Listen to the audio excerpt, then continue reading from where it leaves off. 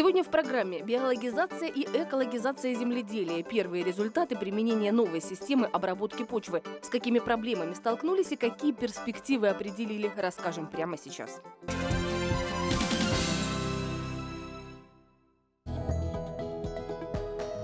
Рощи голы, нивы сжаты. Время подсчитывать прибыль, подводить итоги, делать выводы. Это опытное поле агрохолдинга «Агробелогорье», точнее его Прохоровской зерновой компании. В прошлом году здесь стартовал эксперимент по определению оптимального объема внесения в почву удобрений, получаемых от биогазовой станции, которая находится неподалеку. Летом 2012 года здесь, на опытном участке в 54 гектара, который поровну засеяли соей и кукурузой, на поле был внесен эфлюент.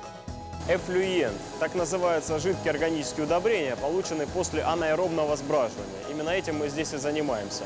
Сейчас мы находимся в производственном цеху. Здесь у нас расположены резервуары, в которых поступает входное сырье. Далее эти резервуары э, перекачиваются в ферментаторы, в дображиватели. Там выделяется биогаз. Биогаз поступает на двигатели внутреннего сгорания, которые находятся справа, сейчас шумят. Но вот а эфлюент сам идет в лагуны и далее служит замечательным органическим удобрением, которое потом вносится в поля. Это удобрение с содержанием сухого вещества около 5%, э, насыщенное полезными веществами, в частности азотом, фосфором, э, насыщенное микроэлементами. По количеству действующего вещества там, многократно превосходит то, что сейчас вносится в поля и конкурирует с минеральными удобрениями. Это нетрадиционное для России зеленое удобрение, пока и для Белгородчины в диковинку. В регионе только учатся работать с такой органикой. И вот первые результаты. Мы поняли, что при внесении 70 тонн на сою это оптимальный результат. Получили там 26 с лишним э, центнеров на гектар.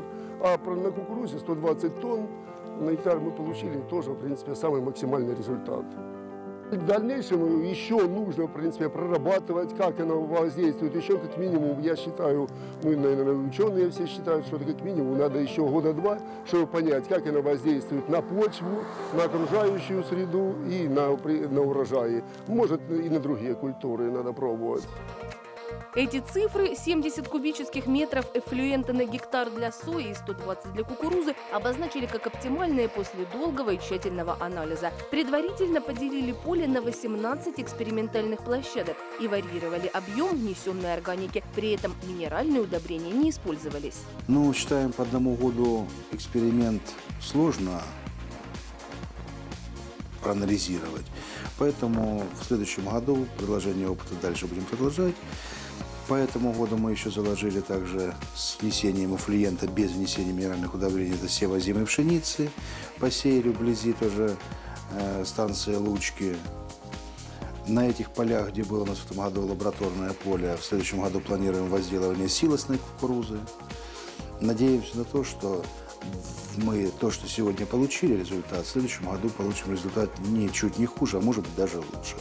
Ну, как предложение такое, считаем, что норма внесения нужно будет дифференцировать в зависимости от возделываемой культуры. Если это техническая культура, то в пределах 70-80 кубов. Если это зерновая колосовая культура, то 50-60 кубов будет достаточно, чтобы полностью уйти от применения минеральных удобрений. Во-первых, это есть биологизация почвы, это есть улучшение структуры почвы, ну, во-вторых, считаю, более экологически чистая продукция, которую можно поставлять на белорусский рынок. Отказ от минеральных удобрений – это немалая экономия и для самих предприятий, использующих эфлюент, особенно ощутимая в условиях вступления в ВТО. В ближайшее будущее дойдет у нас цена минеральных удобрений до мировых цен. И мы сегодня, скажем так, если каждый год практически на 10% идет увеличение стоимости минеральных удобрений, то в сравнении стоимости минеральных удобрений 20 тысяч рублей за тонну, при внесении 2 центнера на гектар, это получается плюс внесение где-то 5 тысяч затраты на 1 гектар. Ну, это затраты материала плюс э, стоимость по внесению, затрата по внесению. Если мы будем сегодня вносить 50 кубов, то понимаем, что мы данным продуктом замещаем полностью минералку и тем самым экономику немножко делаем лучше. Всего таких полей, удобряемых эфлюентом и без применения минеральных удобрений в агрохолдинге будет 1100 гектаров. Специалисты рассчитали, органики, производимой станцией Лучки, хватит именно на такую территорию. Что же касается далеко идущих планов, тут курс на инновации. В компании считают, что еще более эффективным эфлюент может сделать процесс его сепарирования. Эту программу мы планировали и планируем то, что касаемо по сепарированию данной продукции и получать из него, то есть две, два продукта. Один продукт получается твердую фракцию, после сепарирования делать, э, пропускать через сепаратор, отделять жидкую от твердой фракции. Жидкая фракция будет идти на полив, серая вода, то есть для полива, а твердая фракция э, после сепарации нам позволит, она будет более обогащенная, так по формулам расчета можно будет возить на более удаленные площадя, то есть транспортных расходов будет немножко меньше, потому что по внесению на гектар, здесь мы говорим о 70 кубах на один гектар, а если мы его отсепарируем и сделаем более концентрированную массу, то можно будет носить там 10-15 кубов на гектар, в свою очередь меньше транспортных расходов от плеча перевозки. Но это как бы программа будущего. Пока на сегодня то, что провели, опыт, то провели. Введение экологизированных севооборотов с включением в них зернобобовых, многолетних трав и бобово-злаковых травосмесей, промежуточных культур на зеленые удобрения, применение всех видов органических удобрений – все это способствует повышению плодородия и биогенной активности почвы. Время отдавать земле то, что брали годами. Время заботиться о ней, чтобы и она могла дать нашим потомкам полноценную и безопасную продукцию.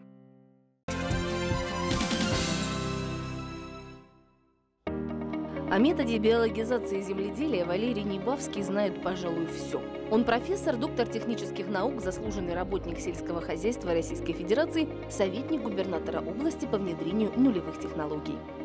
По классификации ФАО, это Комитет по аграрным вопросам Организации Объединенных Наций, эта технология называется технологией консервирующего земледелия.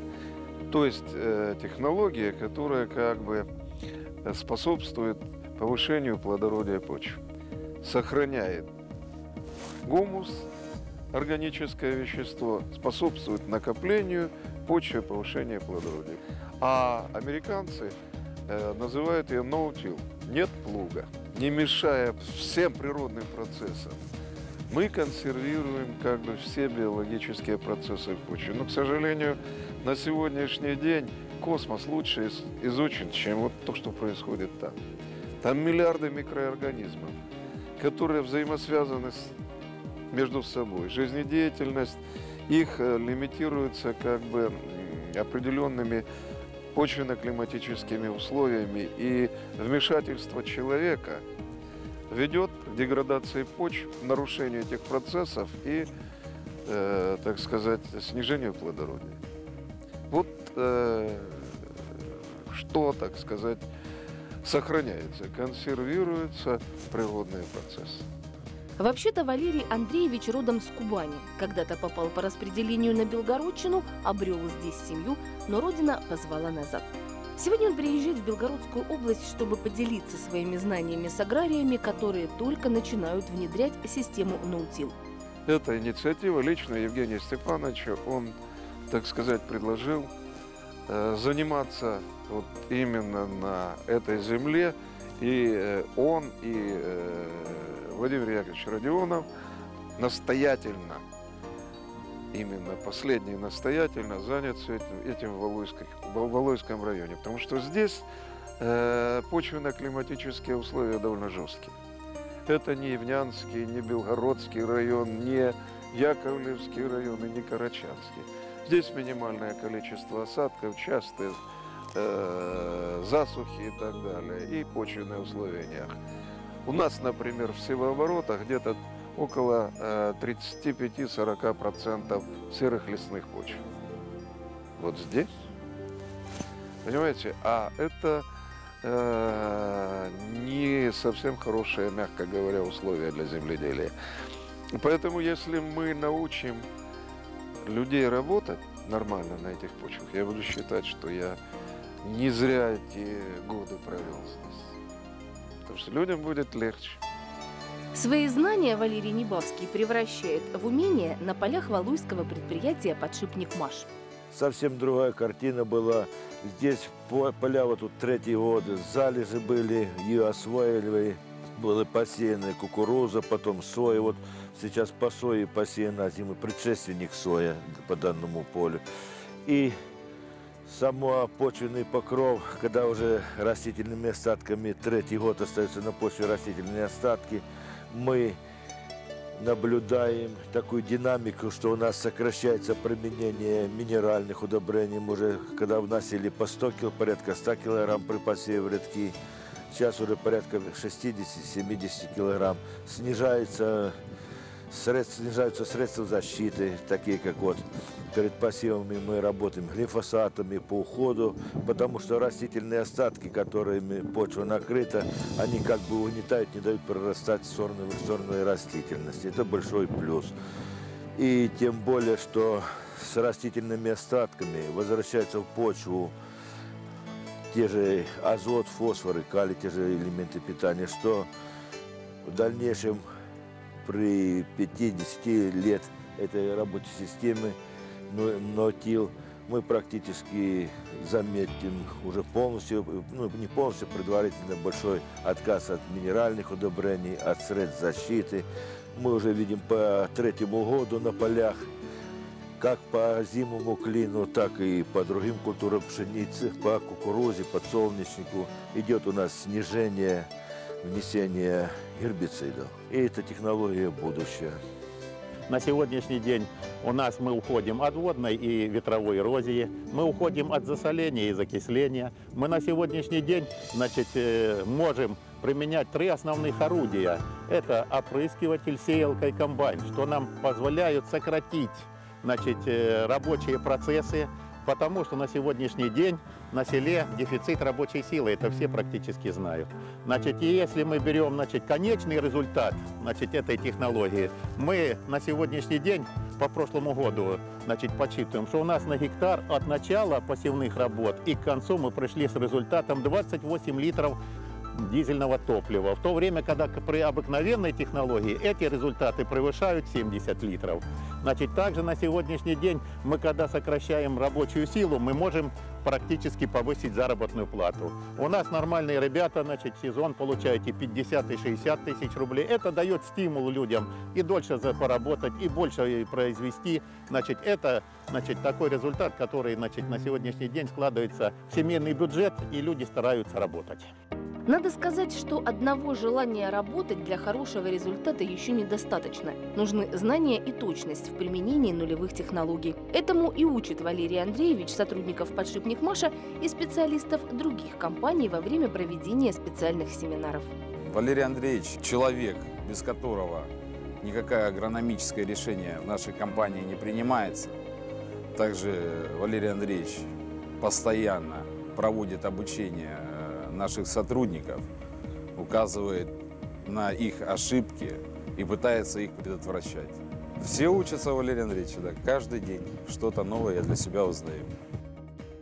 Особенность этой технологии – это высочайшая квалификация специалистов. Высочайшая. Потому что если э, классика допускает какие-то ошибки,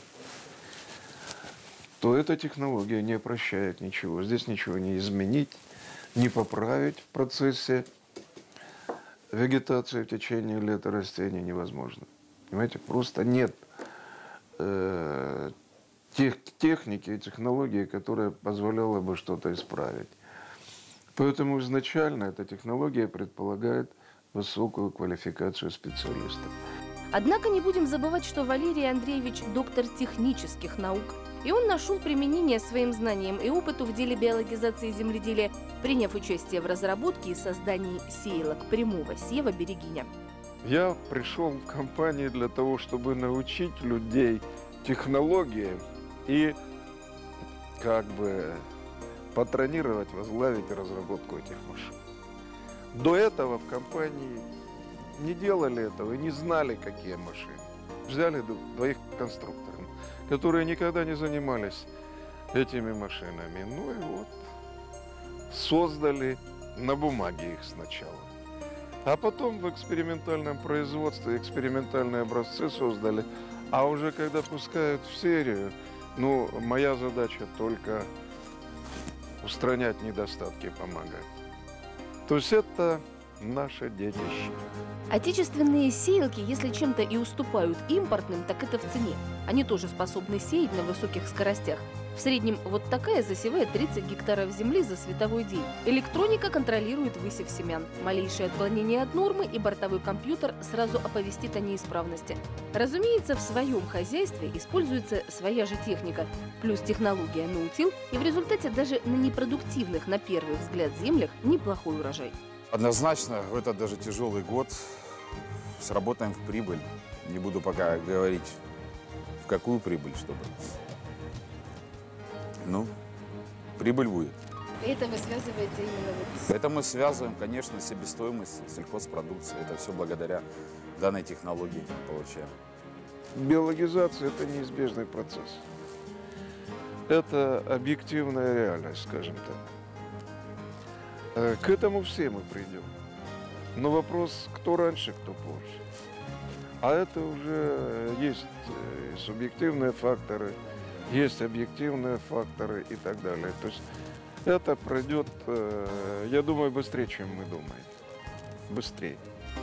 Европа и Америка, рассказал ученый, давно отказались от вспашки. Владимир Андреевич это знает не понаслышке. Когда в своем краснодарском хозяйстве он решил применять нулевые технологии, ездил учиться во многие страны мира, чтобы понять, как работают наутил в разных климатических поясах, какая техника нужна, какие сорта и культуры сеять и каким образом. Словом, ему есть чем поделиться с теми, кому по пути с биологизацией земледелия.